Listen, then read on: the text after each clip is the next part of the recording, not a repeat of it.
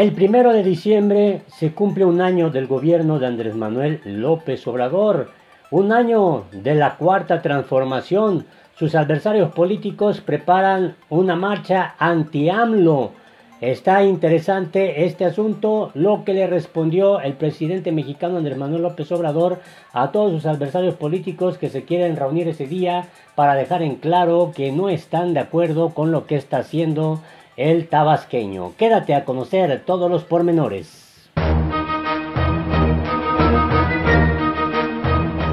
A mí me gustaría hacerle unas preguntas, presidente. La primera de ellas, el domingo se está convocando también a una marcha por parte de eh, líderes opositores eh, a, su de partidos, perdón, eh, que están asegurando que marcharán bajo la camisa de ciudadanos, pese a ser líderes de partidos como el PAN o el PRD. ¿Usted haría un llamado para evitar cualquier tipo de confrontación debido a que, bueno, pues también ustedes estarán en las calles? Pues no debe de haber ningún problema, porque lo nuestro es aquí en el Zócalo. A las 11 estamos convocando Tengo entendido que ellos eh, convocaron a reunirse en la torre esta que hicieron, que quisiéramos ir a poner una placa ahí, pero no podemos. Este, pero bueno, ahí creo que se van a reunir eh, y tienen todo el derecho de manifestarse, todo el derecho de manifestarse. Eh, estamos construyendo una auténtica democracia. Aquí todo el mundo puede manifestarse, expresarse, eh, puede disentir con absoluta libertad. Hola, te invito a que te suscribas a nuestro canal La Política en el Mundo, le des en la campanita para que te lleguen inmediatamente las notificaciones. Todo comenzó con esta postura que asumió Julián Levarón, la familia Levarón, eh, llamaron a manifestarse el primero de diciembre en la Ciudad de México. Este activista convocó una marcha el, justo el primero de diciembre cuando se cumple un año del gobierno Andrés Manuel López Obrador. Esto en solidaridad con las familias de víctimas del crimen organizado en el país tras lo ocurrido a su familia. Eh, de inmediato hubo quienes eh, tomaron este anuncio sobre todo los adversarios políticos de Andrés Manuel López Obrador, para llevar, eh, obviamente, pues eh, agua a su molino. Ahora están convocando a una manifestación anti-AMLO. Ya no es prácticamente en contra de las políticas eh, que ha instrumentado la cuarta transformación. Se ha hecho un asunto ya más personal y quien está tomando esta bandera es el partido Acción Nacional. Y bueno, después de que eh, la familia Levarón da a conocer esta postura, inmediatamente se genera una bola de nieve. Dice Javier Sicilia, yo no participaré en la marcha del primero de diciembre, se desmarca el activista y dice eh, dejó en claro que no participará en la marcha del próximo primero de diciembre, pues su llamado a movilizarse hacia Palacio Nacional, dado a conocer en proceso, es para enero y no tiene ninguna relación con la movilización que ha sido convocada por organizaciones y partidos políticos para este primero de diciembre. En este sentido, ya hay quienes eh, tomaron esta marcha con bandera política es un derecho, dice Margarita Zavala, la ex candidata a la presidencia de la República y esposa del expresidente panista Felipe Calderón. Se declara lista para la marcha anti-AMLO, dice la ex candidata, eh, que estará presente en esta movilización y que lo va a realizar bajo un derecho que tiene como ciudadana y como parte de la libertad de expresión. Aquí vemos a Margarita Zavala, pues lista también para esta marcha anti-AMLO. En este sentido, queda más que claro que hay intereses políticos detrás de todo esto que ya se está organizando. Hay quienes pretenden pues poner en mal a la cuarta transformación y al propio presidente Andrés Manuel López Obrador. Y aquí pues ha salido a dar la cara el Partido Acción Nacional, dice el PAN y México Libre entre los participantes de marcha anti-AMLO este primero de diciembre, es decir, que ya se contaminó lo que querían de alguna manera hacer ciudadanos. La organización civil Chalecos eh, México intentará el próximo domingo opacar la verbena popular y el mensaje que organizará el presidente Andrés Manuel López Obrador con motivo de su primer año de gobierno en el Zócalo de la Ciudad de México, al anunciar una marcha nacional para exigir respeto a la ley y a nuestros derechos. Esos serían supuestamente los motivos por los cuales eh, se llevaría a cabo esta eh, marcha, pero escuchemos al propio dirigente nacional del PAN, Marco Cortés, hablar de esta convocatoria. Escuchemos.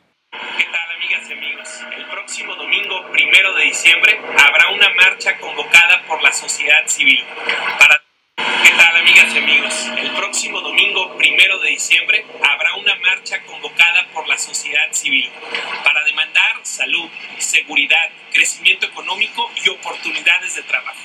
Los organizadores están invitando a participar a toda la sociedad, que compartamos las mismas preocupaciones, sin distingos de colores, que tengamos o no filiación partidista. En Acción Nacional estamos convencidos que ante la grave situación que vive México, hoy nos necesitamos todos. Por eso hemos decidido en nuestra calidad de ciudadanos aceptar la invitación y sumarnos a la marcha.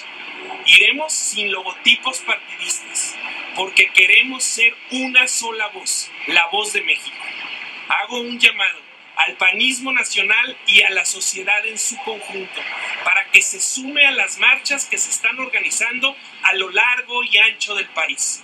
Los invito a participar activamente a todos aquellos que creemos en la democracia, la libertad, el imperio de la ley, el respeto a las instituciones y el equilibrio de poderes. Este primero de diciembre, ahí nos vemos en la marcha, todos juntos por México. Así se expresó el dirigente nacional del PAN. Y bueno, aquí en la fotografía dice, México necesita de todas las voces para sacar al país adelante y un tema muy importante en el que debemos trabajar unidos es el medio ambiente. Y aparece aquí Gabriel Cuadri, quien también eh, pues eh, dice que habrá de participar. Eh, hay que recordar que ellos están dentro de esta plataforma, este proyecto rumbo a las elecciones de 2020 que se llama Futuro 21, en donde también se integraron el PRD y el Movimiento Ciudadano. En este escenario, el propio mandatario mexicano Andrés Manuel López Obrador, pues mandó un mensaje, hizo esta invitación. Amigas, amigos, les invito al Zócalo el domingo a las 11 de la mañana. Nos vamos a reunir porque cumplimos un año de gobierno, el día primero de diciembre y vamos a informar sobre lo que hemos logrado desde abajo, entre todos. Yo considero que bastante. Hemos avanzado mucho, se han sentado las bases para llevar a cabo la cuarta transformación de la vida pública de nuestro país. Eh, ya hay un marco legal distinto, se hicieron reformas a la Constitución en sentido estricto, eh, práctico, real. Ya hay una nueva constitución que combate la corrupción, que promueve la justicia, que impulsa la democracia. Y ya en los hechos están llegando beneficios a todos. Ya puedo decir, les adelanto, de que en la mitad de los hogares del país, cuando menos llega un programa de bienestar. En la mitad de todos los hogares, de todas las casas de México. Y en el caso de la gente más humilde, de la gente más pobre, de las comunidades indígenas, allí de cada 10 casas, en 9 ya están recibiendo apoyos programas de bienestar. Y pronto van a ser eh, las 10 casas al 100%, porque estamos aplicando el criterio de atender a todos, de escuchar a todos, de respetar a todos, pero de darle preferencia a la gente humilde, por el bien de todos, primero los pobres. Y eso nos hace sentir muy satisfechos muy contentos, estamos eh, muy tranquilos con nuestra conciencia porque estamos sirviéndole al pueblo y atendiendo de manera preferente, de manera especial, a los más necesitados. Al final de cuentas eso es la justicia, darle más al que tiene menos. No puede haber trato igual entre desiguales. Pero no se trata solo de informar. Nos vamos a reunir también para demostrar de que se trata de una transformación que estamos llevando a cabo entre todos, que somos muchos los mexicanos que apoyamos, que estamos empujando para la realización de este cambio verdadero. Lo que me dicen a veces eh, los actos, que no estoy solo. Pues sí, claro que no estoy solo. El pueblo es el motor del cambio. El pueblo es el alma de esta transformación. Yo soy dirigente, pero como decía Juárez, con el pueblo todo, sin el pueblo nada. Entonces, eh, demostrar eso, que somos eh, el pueblo organizado, que estamos llevando a cabo esta transformación en beneficio de México, de nuestro querido país, de nuestra patria.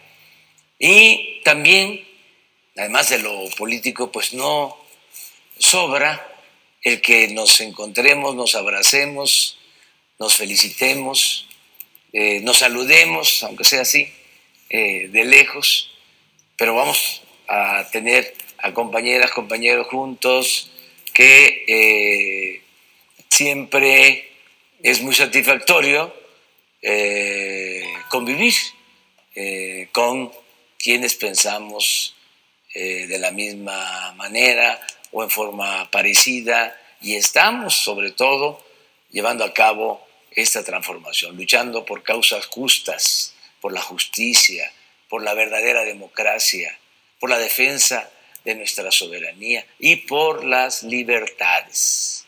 Entonces, vamos a encontrarnos en el Zócalo de nuevo el domingo, primero de diciembre, a las 11 de la mañana. No sobra este, saber si hay cariño o no hay cariño. Este, claro que hay mucho cariño, así como ustedes me quieren a mí, yo les quiero a ustedes y un poquito más todavía, porque amor con amor se paga. Nos vemos en el Zócalo el domingo.